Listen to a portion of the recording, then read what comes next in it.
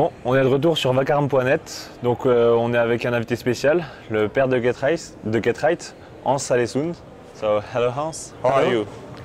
Well, so far so good. I've just been watching the quarterfinal, and it's it's really really nervous and and take a lot a lot of effort from your heart, etc. etc. So, but it was half an hour ago, but it was really really nice to see them take the a win that that game. So we can watch him again tomorrow.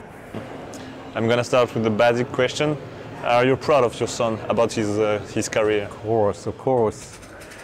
But uh, I'm proud. I have four, four children, and I'm proud of all of them. It's uh, we have raised them in the meaning that they can do whatever they want to do, uh, as long as it's so to say okay. I don't want them to be any, well, criminal. I don't want to, them to make any any, any bad things, etc., etc. So uh, so uh, we have tried to raise them in in in the way that they what they want to be and what, what they want to do. So I'm proud of all of my four kids. But of course, uh, the sort of public, public part for Christophers make it really, really special. Yeah. But of course, I'm proud of him. I'm proud, of, really proud of him. About his pro career, um, what was your reaction first uh, when he told you that you wanted to be a professional gamer? Well, from the beginning, he, he, he and all of my other kids has been uh, to do uh, a lot of things as every, every kid do. They play football, they play in Sweden, they play ice hockey, they go skiing and skating and playing guitar and playing piano and and he was raised during the 90s. He's, he's, uh, he's born in 1990. And one of the already then natural part for a kid is to play on the computer, computer gaming. That was already at that time a part of their hobbies, so to say. So he played games, he, uh, computer games from, from more or less the beginning. He was more or less three, four years old when he started. And that was rather unique during the 90s. But to answer your question, I remember the day very clear. It was when he was, uh, he was 16 years old. Uh, he was playing uh, Counter Strike already then in different clans or teams. And uh, we were traveling around in, in the Stockholm area and even farther, uh, further uh, distances. And suddenly he said to me, Hey, Dad, take a look on this contract. I got it from my manager, he said. What? What did you say? And it was a very simple, easy, so to say, uh, contract proposal that he should play for this team and that, blah, blah, and get some kind of, of payment for it. Not any money, it was traveling, it was computer, etc., etc. So it, it started already when he was 15, 16 years ago uh, old, this, so to say, professional career. And then when he became uh, 17, he was, uh, he was uh, invited or asked for to play for Fnatic. And that was, uh, now it was in real, so to say. It was traveling all around the world. And for a big team at that time, Fnatic was the number one team. And uh, wh- what shall you say to your kid if you have a kid that plays football or soccer that, hey, I got a proposal, a contract proposal from Real Madrid. So you say no, so of course we supported him all the way. And the rest is history. He played for Fnatic and already in 2010 he was uh, ranked number one in Counter-Strike in the world. And he's been that four or five times since then. So, so it, it, it was a smooth and very, and very simple, so to say, question for me and my, my wife to let him play as a professional e- gamer. So uh, I'm very proud, and, and I- I have also taken care of this administrative part. I've taken care of the contract since then, since day one. So we have the mixture. We divided the work between him and me. He play and I take the contract part. So he will focus on the on the on the on the play and the gaming instead of the administrative part. So that's how it all started. And in, in spite of this contract, um, were you encouraging him to, to continue his, his studies, to have a, a diploma? No, that was that was a, a, a, decision to make. He was uh, in the first degree in high school, and it was three years, uh, and this was just during the, the, the second year. He, he has finished the first year, and during the la- on the second year, he was asked, to "Hey, I want uh, Fnatic want uh, uh, him to play for them," and so he he ha- have a pause. He has stopped this uh, uh, high school degree since then, so he has a half high school degree. And that was an open, once again, it's an open decision we made together with him. Hey, you got this chance. Shall you say we say say no and you should go to school instead? But we all agree that yes, we, we go for the for the e-sport instead. That was not an easy decision to make, of course. If your if your son failed to with the, with his professional career, if he can, can't make it a living, what do you think uh, he would have done? I think it's two answers on that. Uh, for uh, say four, five, six years ago, before he was so established, his plan was to uh, to uh, make food. He'd be a cook, perhaps in the restaurant uh, uh, part or something like that. He's always been interested in that.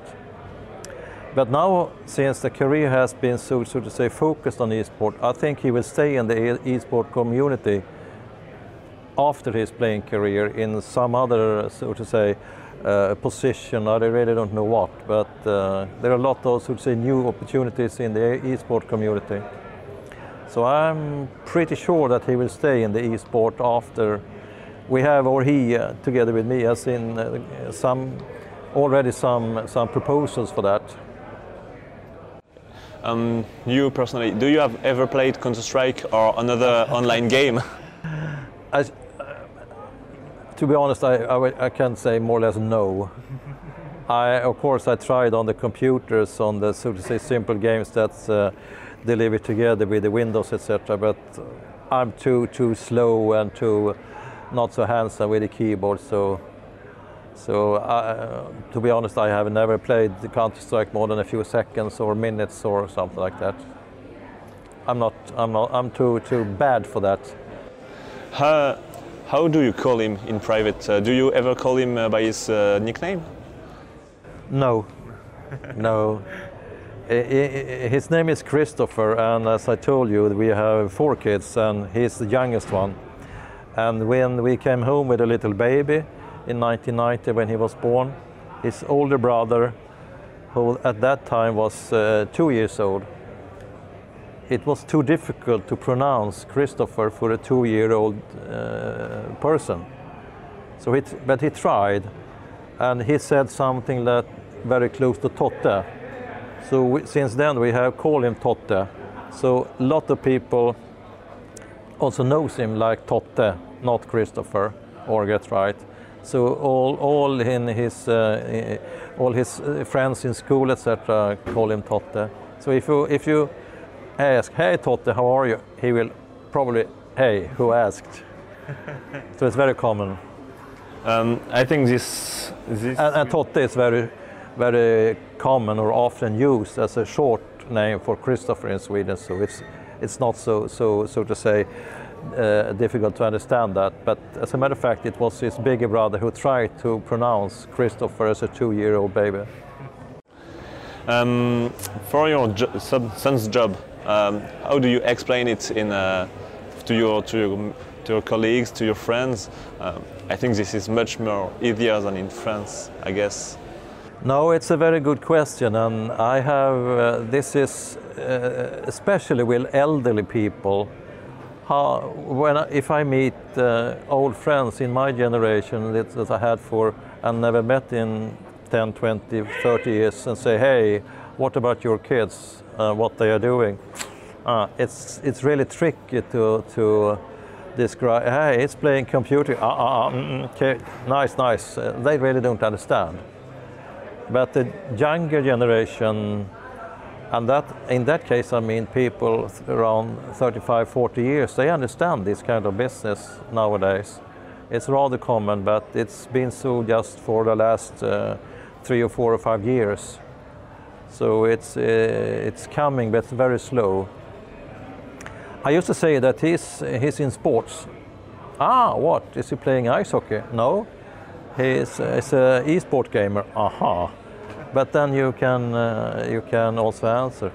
In my telephone, I also have a a film for 90 seconds. That's To show them. yeah, like from events and things like that from today, and they say, "Wow." Yeah, and not just uh, like uh, in his bedroom uh, playing alone. no, no, no, yeah. Like we saw just today in, in a big arena, this uh, this guy standing there in the in the audience speaking in, in front of 5,000 or 10,000 people, etc. So, and playing for hundreds of thousands. So it's. Uh, it's, uh, but this is, this is a very interesting question. Uh, when is, so to say, uh, accepted for, for to be an e-sporter as, uh, as a job? Uh, it, it, it takes time, but it's, it's been much better since the last years. Uh, when you're at home with your with Get Right, um, do you watch games together? Absolutely. Absolutely. We uh, in our home we we have been watching. Uh, I mean, when he when he st- lived at home in our home, and he still it's still the same for him. He plays Counter Strike in his so to say own studio at home, with his own computers and screens, etc., and practicing and training and things like that. But when it's off time, he's looking on on the bigger screen, on the television screen, on games and matches all the time. So he's living and sleeping Counter Strike all all uh, all the time, more or less all the time of, of, of the day. And it's the same in our house. It's been the same. When our kids were growing up, they played and they watch the games, and we and my wife we see, I should say, we we see all his matches wherever he is, we see all his matches in a, uh, in, a bigger screen in our in, in our house. So we follow we follow him. Of course, we do. And uh, that's why uh, what, that's what uh, Shox's father said too. He's following him like a fan. Yeah, yeah, yeah. I'm I'm a big fan, but his biggest fan is his mother, my wife. She's his really really biggest fan. Um, so what's I think that's our last question, but what is your second favorite team? Because I think the first one is on is on your shirt. Yeah, of course. It's, uh, I I don't think I have a second team. I really don't know if I. I mean, if you're if you have a favorite football team, you you go for that, and you don't have a second team. But uh, no, I, I can't say that. I mean, if I say that, yes, I have some other Swedish teams. Well. Or uh, or a French team. Uh, no, no, I, I, I, I can't say that. Uh, instead, I like players, players, and uh, it doesn't matter which team they play in. So uh, I'm a little old school, and I, I like the old guys from the, the guys from today. I really like to see TaZ and the guys from Poland. So, uh, so I'm, I'm, I don't have any favorite team except the, the team that uh, Christopher plays for. Um, so could you explain where the nickname Get Right come from? Absolutely. Uh, I think he was around, uh, I mean, perhaps five years old. And already at that time, he was more or less playing e- e-sport or playing games uh, on the computer at home. And he, he sat together with his elderly brother, who is five years older. And he was 10 then, so Christopher was very small. And, and, and uh, uh, the bigger brother, Robin, he played with his nickname and they used uh, they used more or less the they played the, the same the same games etc. So Christopher then asked, "Hey, I need I think I need a nickname," and Robin, the bigger the bigger uh, uh, brother, he said, uh, "Yeah, you need a you, you need a nickname. You can't use my nickname. You need an own nickname." And at that second, at that moment, Robin, the older brother, he made a tr- file transfer from the internet from some other, it doesn't matter what it was. And the company who made this software file transfer uh, software is called Get Right. So he saw on the screen, take Get Right. So he said to Christopher, you can use Get Right. And uh, so the company Get Right is an American software company still around. It's a small company. As a matter of fact, I've been in contact with them. I tried to contact them several times, etc. It's a small company there is uh, who's still still uh, making this file transfer program, as far as I understand. So it's, it's a very nice story. Uh, he, he is uh, he is baptized his nickname after a software company in the U.S. Thank you, Hans, and uh, good luck for your son tomorrow. Thanks and good luck yourself.